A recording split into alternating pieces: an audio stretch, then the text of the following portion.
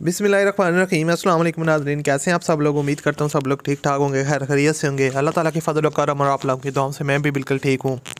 تو آج کی ویڈیو میں ہم آپ کے لیے ایک اور گاڑی کا ریویو لے کے ہیں۔ کرولا ایکس ایل آئی دو ہزار آٹھ کا ماڈل ہے۔ اب جب بات آتی ہے کرولا ایکس ایل آئی اور جی ایل آئی کی، تو پاکستانی عوام بہت زیادہ ان گاڑیوں کو جو ہے نا وہ پرچیز کرتی ہے۔ خاص طور پر جو ان کے اولڈ ماڈلز ہیں، جیسا کہ دو ہزار آٹھ دس نو ماڈل بارہ تک جو ہے نا، ان کی بہت زیادہ ڈیمانڈ ہے، کیونکہ ان کی جو پرائس ہوتی ہے وہ کافی مناسب ہوتی ہے۔ تو آج کی ویڈیو میں بھی اسی طرح کی گاڑی ایک ہمارے پاس ہے۔ جس کی تصویریں یہاں پر آپ سکرین پر دیکھ رہے ہیں، تو اس کی مکمل ڈیٹیل آج کی ویڈیو میں آپ کے ساتھ شیئر کرنے والا ہوں۔ تو اگر آپ کو یہ ویڈیو پسند ہے، تو لازمی سے اس ویڈیو کو لائک کیجیے گا۔ اور اگر آپ لوگ چینل پر پہلی دفعہ آئے تو چینل کو سبسکرائب کر لیں اور ساتھ میں گھنٹی کے نشان کو پریس کر لیں تاکہ جیسی کوئی اور ویڈیو آئے تو اس کا نوٹیفیکیشن آپ کو سب سے پہلے مل جائے۔ سو بات اسٹارٹ کرتے ہیں دوستوں یہ کون سی گاڑی ہے؟ یہ ہے Toyota Corolla X L I دو ہزار آٹھ کا ماڈل ہے۔ گاڑی نے جو اپنی ٹوٹل مائلیج کمپلیٹ کیا، وہ ایک لاکھ ایک سو کلو میٹر ہے۔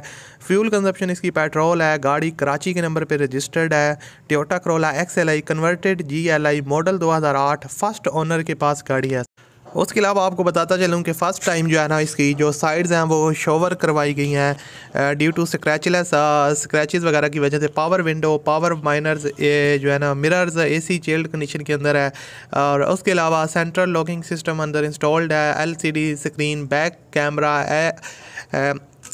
اس کے علاوہ لائٹس وغیرہ کافی اس کے اندر جو ہے نا وہ انسٹالڈ ہیں، fog lights new seats cover اس کے اندر انسٹال کروائے ہیں ریسنٹلی اونر نے اور باقی کافی زیادہ چیزیں ہیں جو انہوں نے اس کے اندر جو ہے نا وہ انسٹال کروائی ہیں جو کہ یہاں پر میں آپ کو بتاؤں گا تو ویڈیو کافی لمبی ہو جائے گی۔ باقی اس کا یہاں سے آپ انٹیریئر دیکھ سکتے ہیں۔ نیٹ اینڈ کلین ہے، سیٹس کی کنڈیشن کافی زبردست ہے اور جو ہے نا آپ کو بتاتا چلوں کہ گاڑی میں کسی قسم کا کام نہیں کروانے والا ایکسیلنٹ کنڈیشن میں ہے باڈی سسپینشن جو ہے وہ گاڑی کی کافی زبردست ہے اور گاڑی سیل ٹو سیل جینون ہے یہاں پر آپ ٹائرز کی کنڈیشن دیکھ سکتے ہیں الوئر رمز انسٹالڈ ہے اور گاڑی کافی خوبصورت لوکنگ میں ہے جینون ہے، کافی حد تک جینون گاڑی ہے اور ڈاکومنٹس وغیرہ کے حوالے سے اگر دیکھا جائے تو ڈاکومنٹس اس کے جو ہے نا وہ سارے کے سارے کلیئر ہیں اوریجنل اویلیبل ہے ٹیکس وغیرہ بھی اس کا جو ہے نا وہ پیڈ ہے، کسی قسم کا کام نہیں کروانے والا۔ اس گاڑی کی جو ڈیمانڈ ہے وہ بارہ لاکھ اسی ہزار روپے انہوں نے ڈیمانڈ رکھی ہے، کمی بیشی ہو جائے گی۔ ویڈیو کی ڈسکرپشن میں کانٹیکٹ لنک ہے، اس لنک پر آپ کلک کر کے اونر کے ساتھ رابطہ کر سکتے ہیں۔